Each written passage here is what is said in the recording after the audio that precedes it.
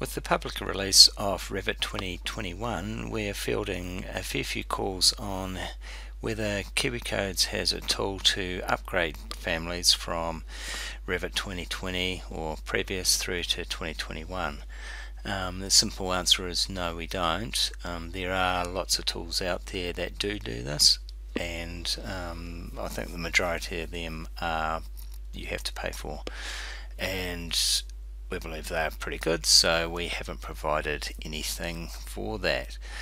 But after talking to my good friend Alex Page at RevitWorks, he's shown me a very handy way of doing that totally for free using um, Dynamo within Revit.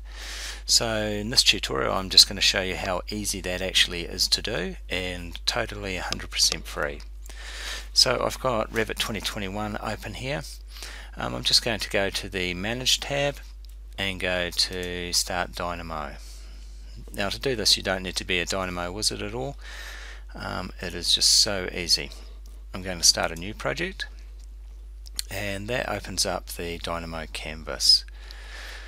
So these are all the tools over on the left hand panel palette that you can use. I'm just going to use the search and search for an item called directory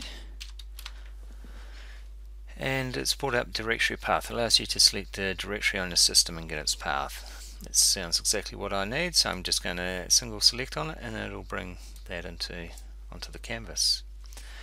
Right, the next thing we're going to do is we're going to go to packages and load up a package. So we're going to search for a package. And I'm just going to wait until this finishes syncing with server before um, I do a search Right, once it's finished doing the search, um, I'm going to search for a package called Rhythm. Uh, H, R H Y. Okay, there it goes at the top. So um, we need to install that. So if I install that latest version, um, it's going to eventually tell me that I've already got it installed. So I'm just going to cancel out of this. But if you just follow the prompts and go OK, OK, it will then install that. So once you've got it installed, close out of that um, I'm going to change the run type down here from automatic to manual so I can run it when I want it to. So now we've got the package called Rhythm in here. Now there's a whole heap of different tools that these guys have, have created but one of them um, under the Revit node and tools batch is called upgrade families. Now you could also do a search for upgrade families and this would find it. So if I select that pop that in there. So now the only thing we need to do is hook up these two nodes here okay? And then obviously select the path that we're wanting to upgrade our families. Now I've got a temporary path in here for for testing of this.